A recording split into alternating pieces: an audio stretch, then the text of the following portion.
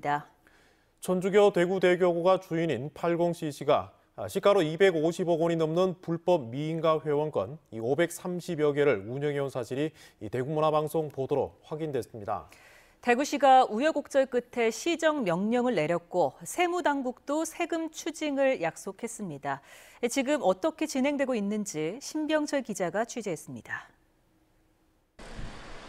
지난달 8일 대구시는 80cc에게 시정명령 공문을 보내 다음 달 10일까지 미인가 회원권 530여 개의 사용을 중단하라고 요청했습니다.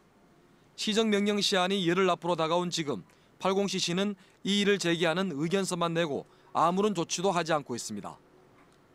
사실상 이제 저기는 우리 시정명령을 이행하기 곤란하다는 뭐 의견 정도 이렇게 왔습니다.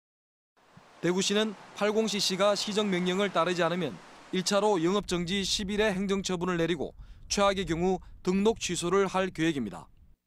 골프장 회원권을 살 때 내야 하는 취득세는 80cc가 아닌 소유주에게 부과될 예정입니다. 대구 동구청은 빠르면 다음 달 미등록 회원권을 가진 530여 명에게서 세금을 추징하기로 했습니다.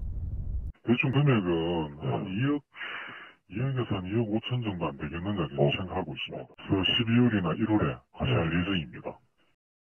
회원권을 사고 팔 때 생기는 양도소득세는 국세청이 추징 금액을 결정하면 개인별로 납부 통지할 예정입니다.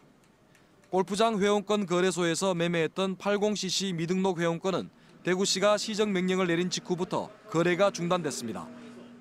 대구시와 국세청의 조치에 대해 80cc와 불법 미등록 회원권 소유자들은 불복해서 행정소송을 낼 것으로 보여 지역사회에 적지 않은 후폭풍을 몰고 올 것으로 보입니다.